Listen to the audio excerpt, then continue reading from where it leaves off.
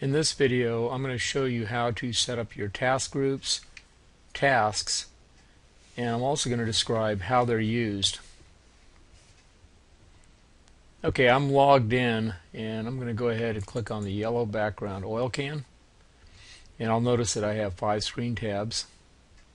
Starting with tab number one, task groups. Okay, so what are task groups? Task groups are similar to equipment groups part groups and failure cause groups. Their primary function is to give you a way to filter for a particular task in this case. So it will limit the amount of items in the drop down uh, box when you're creating a work order for example or a preventive maintenance task item. So let's go ahead and we'll create one. Click the new button and I think we'll create lubrication tasks.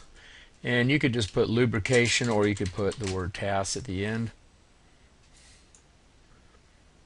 Okay so when you create a group uh, usually you're going to want of course more than one item otherwise it's not going to be a group. And probably less than say 30 to 50 if you get too many tasks in there then it doesn't really serve its purpose of filtering adequately now the program doesn't care how you set this up and that's just a recommendation. Okay, and usually you should start off with your task groups, start off with the most generic type of things that you do. For example, you might want to create something called mechanical tasks. Um, another one that's pretty generic would be electrical. Okay, and we already had safety in there. And lubrication is getting a little more specific, and you may get more specific yet. You may create one called bearing tasks. And what you don't want to do, or at least you want to try to avoid, is creating a task group that's specific to a particular piece of equipment. In some cases, that'll be necessary, but only if the tasks for that equipment are only ever done on that equipment. The idea here is reusability. We want to keep these text items as reusable as possible. That'll reduce clutter and confusion a year, two years, five years from now. Okay, so if we want to edit a task group, we just select the row and make our change and then save it. That's it. All right, let's move over to tasks. So tasks are contained within a task group. So let's go ahead and create a task. Uh, I'm going to create a lubrication task. And I'll start with check oil level in gearboxes. Okay, well, if we had a gearbox task group, we might want to put it there but we don't and I think this will be fine. So I'll click save and so we've added that task. And let's go ahead and add a few more.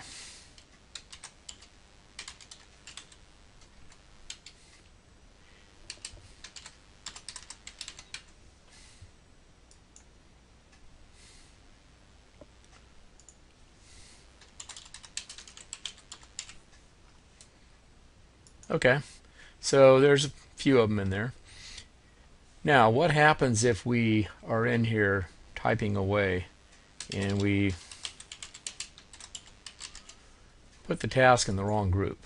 Okay, so we put in replace light in the lubrication task. Again, it's very simple to edit a record. Just select the row. Works the same throughout the program.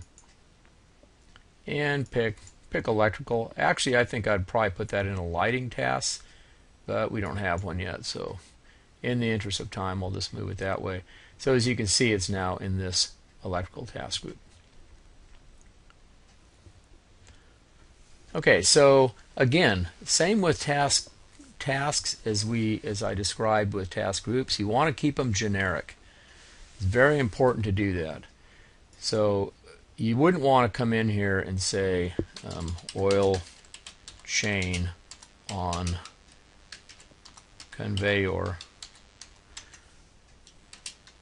uh, number one. You wouldn't want to do that because now when we go to use this task for our work orders or our PMs, the task only is appropriate to conveyor 1. So that really defeats the whole purpose of the reusability aspect. Um, there may be an instance where you actually include the equipment in there or the type of equipment, oil chain on conveyor. Um, again, the program's not going to complain, but just to keep things uh, efficient, especially down the line, uh, years from now, you'll end up with many thousands of tasks if you do that, and it'll be very confusing uh, to to operate this system. So focus on that. Now, when you're creating your tasks, just like the task groups, start with your most generic and work towards more specific. So, for example, if we have an electrical task, let's just go with that. Um, check wire terminals for example. Pretty generic.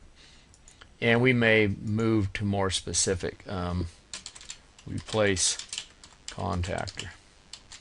That's a little bit more specific. I see I misspelled contactor, but that's all right. Oh, I can use my spell checker. Okay. There. Fixed it. Okay. Um, and we may even get more specific. Uh, let's see here.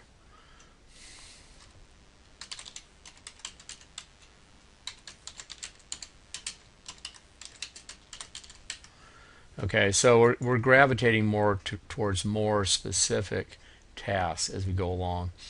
So try to do that. Now, one other thing on the tasks that's pretty important. Uh, suppose you, at some point, and likely you will, at some point, have you know over 50 or 100 or more tasks in here, and you need to add another one. And for example, uh, you need to create a lubricate chain, for example, task. So you come in here and you start entering lubricate chain, but then you think, well, wait a minute. What if there's already another task in there that represents the same thing? In this case, we already have oil chain. But if it's hidden down below here, or if you have quite a few tasks, what you can do here is right click on the column header, do quick grid search, and just type in some word that would be common to both the uh, existing task and the one you're considering. So I'll just type in chain and I see, okay, I've got, oh, I've already got duplicates here. And I've got this one in the wrong group. So I've already got a little issue here I need to deal with. So in any event, go ahead and delete that. Okay. All right, so um, moving along, um, we've gone through adding task groups, editing task groups, adding and editing tasks. And now I'm just going to talk briefly about how tasks are used. So the tasks are shared between the preventive maintenance system, and that's this tab number five where we create our calendar-based quick and dirty PMs and the work order system. So I'll go to the work order screen, I click new, and well, there's my task. There's oil chain, so I can use that. Well, how about that? I'm already in business. I can already create a work order. And if I go into my preventive maintenance, I can use my filter. And you can see that same task is there. So they're shared between the work order system and the PM system.